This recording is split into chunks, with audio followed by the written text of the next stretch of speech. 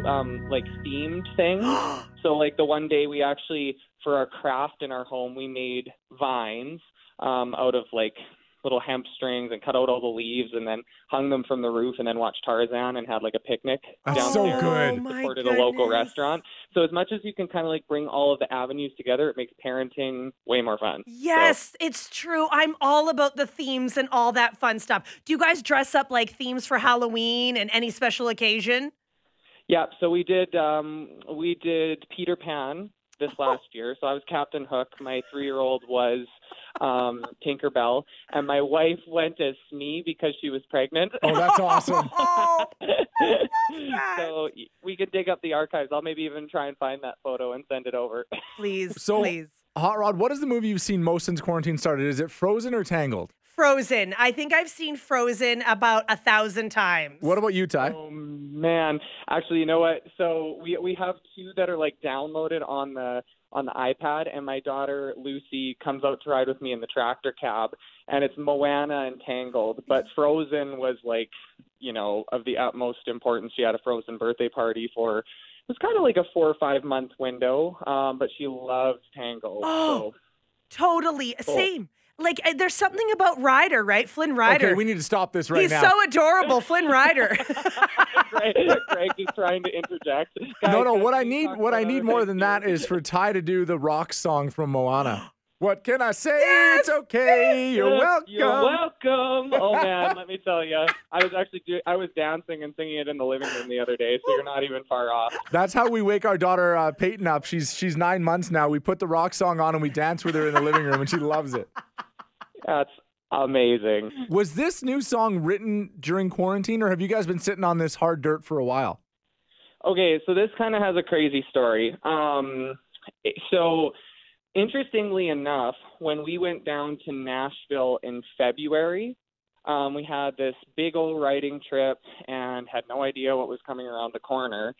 And we weren't even going to record Hard Dirt. And then on a whim, it worked out, and we're like, hey, let's get this recorded. Um, we found, you know, a place where we can get it recorded. We can get this done and get it locked away. We knew it was going to be the next single and had no idea what was going to happen. So on a whim, recorded it, got back home after the tornado happened, um, and then COVID happened, and we realized this song is more relevant than ever. Like we just we we didn't we didn't plan that, but we knew that the next step in the career was about taking that step into more musical and lyrical depth, and we really wanted to say something with the next song. So what? you know, a lot of what we Because we're going to debut it on our show. What? What? Why is this message something we need right now? Um, I think essentially the song is a paradox about the human, um, yeah, the human paradox of struggle and hope.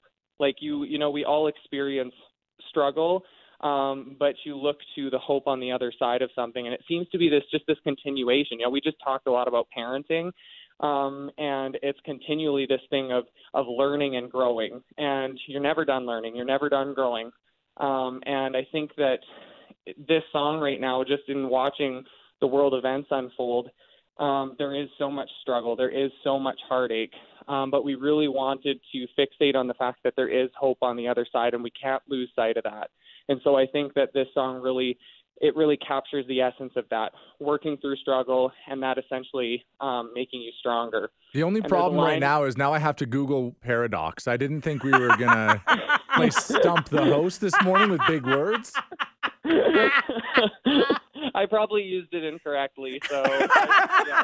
I, I actually that's what I've had to start doing. Like I have a buddy in my life. He's kind of like the it's like taboo, the little buzzer that goes off. He's like, "What does that actually mean?" We're gonna Google that right now. Like, "Oh, I was totally using that in its wrong context. So so true. probably you'll look it up and you'll be like, "That makes no sense."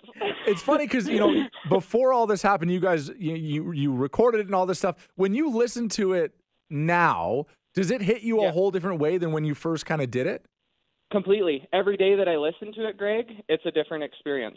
And that's what i that's what i love about it. It was it's such a universal message. And in the title you know some people have been like hard dirt. It's like well that makes a lot of sense for the hunter brothers you know and it is genuine to us. It's authentic to us in terms of um, there being a lot of metaphorical imagery from nature to human growth. Um, that obviously is just a natural parallel being that we grew up on the farm and are still farming Um, but what I love about it is it does not matter where you've come from, what you've walked through, who you are. Um, this song has relevance to you, and we're hoping that whoever it is that's listening to it can just listen to the words and place themselves in the story and say there is hope on the other side of whatever it is that I'm facing today. That is quite a paradox. Yeah. Did I use that?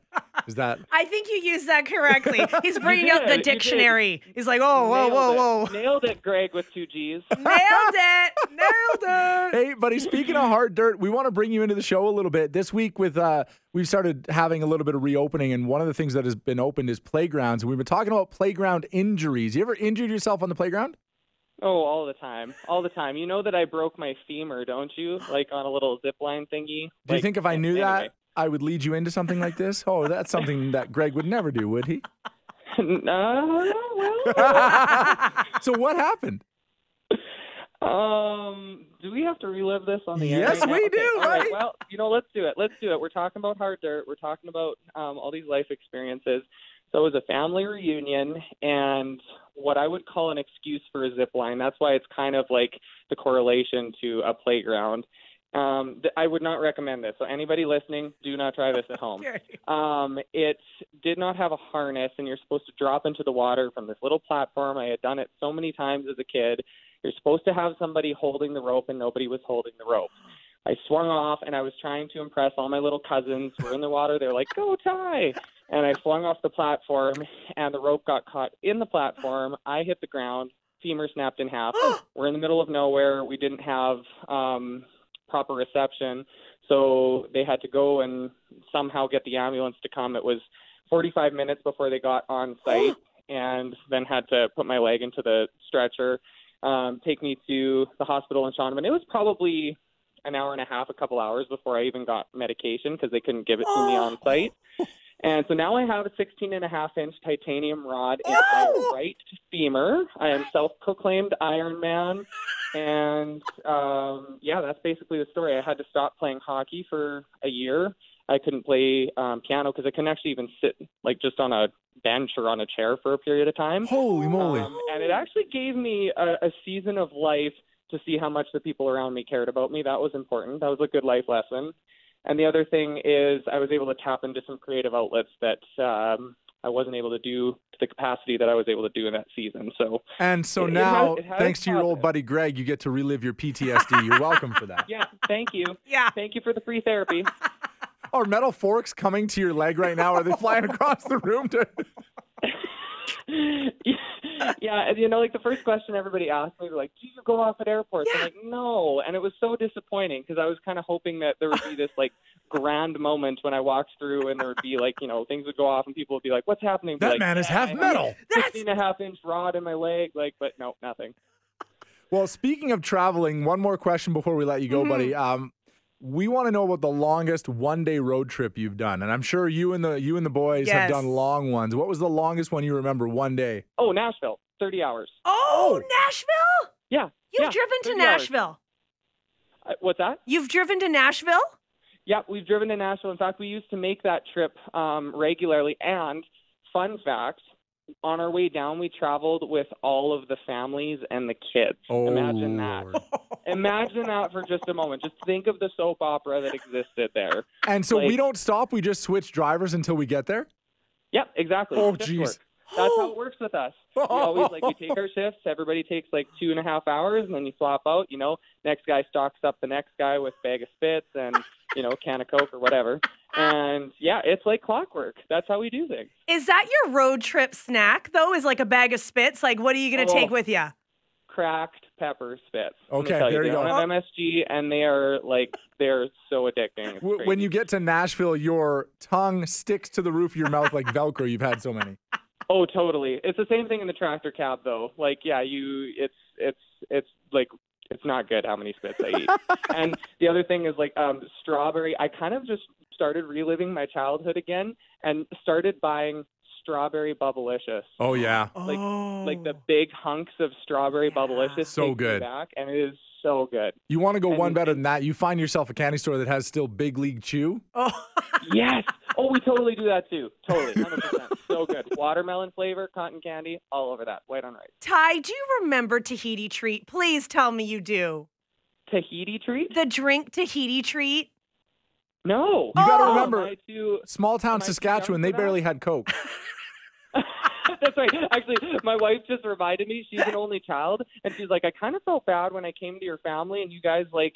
I, I heard about the stories where you all like basically shared one beverage. Like your dad would get you one to share like all around. Like we were the the family that got all waters because drinks were just as expensive as like the meals themselves. You know what I mean? So that's like it's a lot when you add that all up. So That's when the don't leave your friends on the lip of the can rule really comes into play. Hey, take your friends. Take your- yeah, yeah, not the most sanitary thing, but yeah, you know, brothers. Hey, buddy, we really appreciate your time. We're so excited to debut the brand new song tomorrow morning on the show. Will we fill in on the morning show here? But uh, I can't wait to play that. And thanks so much uh, again for the chat, as always. Hey, thank you so much.